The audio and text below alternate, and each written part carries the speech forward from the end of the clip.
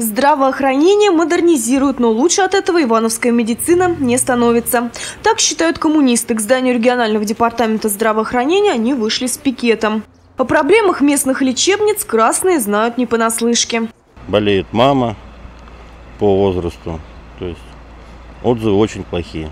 И по обслуживанию медицинскому, по отношению к людям, по ценам на лекарственные препараты – Впрочем, подобные жалобы можно услышать от пациентов по всей стране. Что касается Ивановской области, то последние скандальные слухи звучат следующим образом.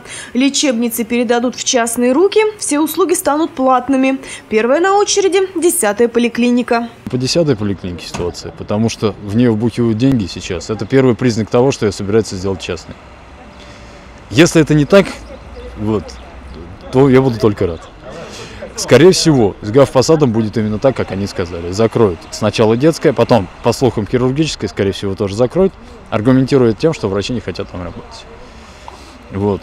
Ну, а знаменитая ситуация с аутсорсингом, с машинами, которые будет обеспечивать фирма, аутсорсинг на станции скорой помощи.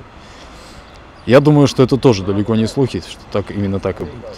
Ситуация с закрытием детской больницы в Гавпосаде достаточно сильно ударила по репутации Михаила Ратманова, начальника регионального департамента здравоохранения.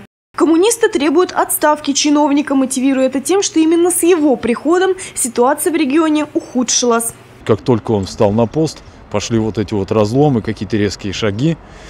И кто-то же должен за это нести личную ответственность персонально.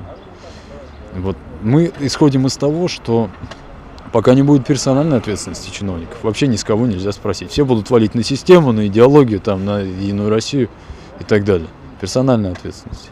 Дыма без огня не бывает. Видимо, слухи, которые огласили коммунисты, имеют под собой почву. А потому Михаил Ратманов пожелал лично прокомментировать ситуацию. С 10-й городской поликлиникой ничего происходить не будет. Она как э, работала, как обслуживала 20 тысяч населения, прикрепленного к ней, так и будет.